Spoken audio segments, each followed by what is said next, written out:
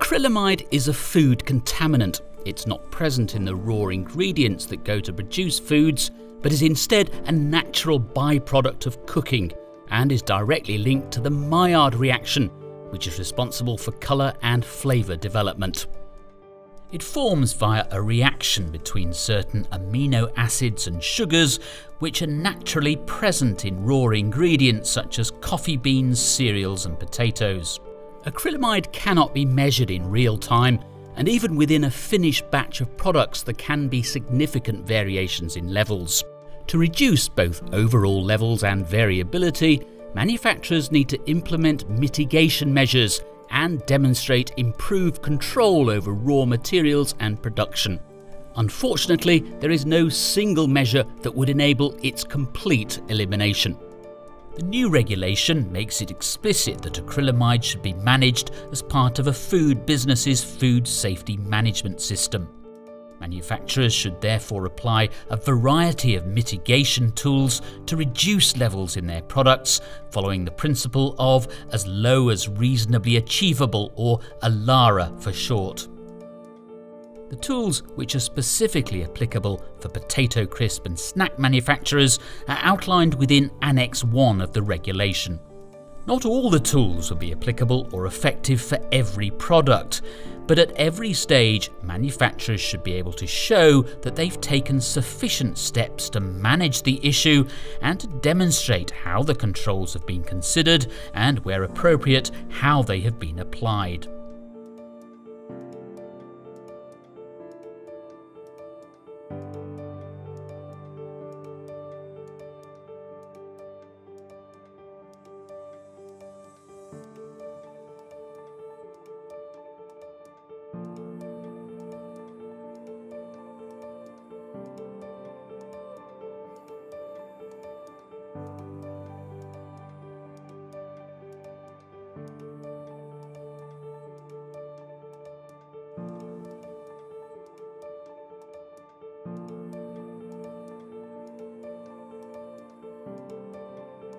There are a range of different frying technologies and associated time temperature profiles available to manufacturers depending on their final product design. However, a key item to note is that when a product has reached a very low moisture level, acrylamide levels can increase dramatically in a very short period of time. Therefore, the frying temperature at the end of the frying process, when moisture in the product is at its lowest, becomes a key control, and in line with the regulation, it should be kept as low as possible. The maximum target temperature of 168 degrees Celsius in the legislation applies to current products and processes and is based upon what is practically possible for most fryers. However, it is possible that a manufacturer may develop innovative products and processes or else have extenuating circumstances, which means that their specific product requires a different temperature time profile during cooking. The regulation acknowledges this and allows the temperature criterion to be replaced by a more appropriate target, provided that the manufacturer can show that acrylamide levels are lower than the benchmark value and in line with the ALARA principle.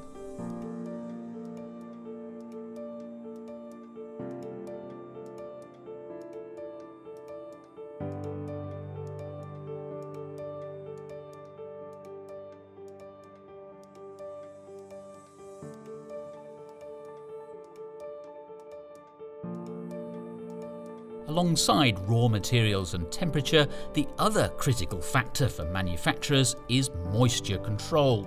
The target moisture content of a typical potato crisp product might range between 1.5 and 1.8%. However, moisture levels will vary from design to design, and even between individual crisps.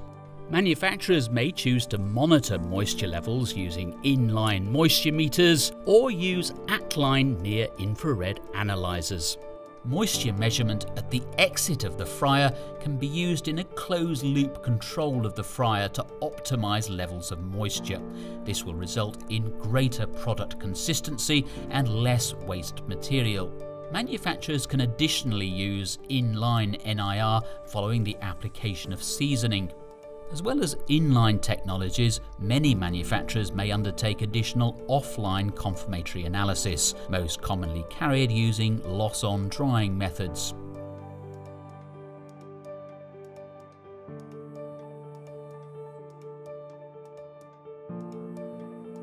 Within any batch of product, there will be a degree of natural variation in fried potato colours. Whilst not always related to higher acrylamide levels, extreme colour variation between individual crisps may be the result of tubers which are higher in reducing sugars, either because of natural variability amongst a lot or else due to agronomic storage or handling issues. The legislation requires that manufacturers use colour sorting as a way to identify these darker slices, but it also allows manufacturers the flexibility to use either optical, electronic, or manual sorting. Manual sorting may be a suitable control for smaller businesses who do not have high volumes or high throughput on their machinery. It relies on trained individuals observing lines of finished product and manually removing defects. By contrast, optical electronic sorters can process significant volumes of finished product at high speeds with a high level of reliability, looking for colour and other defects, and rejecting product which does not meet the program specifications. Colour sorting is a good way to reduce the chance of individual products with higher acrylamide levels from being placed on the market. However, as sorting occurs post-fryer, it is not technically an acrylamide mitigation step. Manufacturers should not rely on it as a control, and the focus should always be on the whole product chain, from selecting the correct raw material and appropriate storage and handling, through product design and controls applied within processing.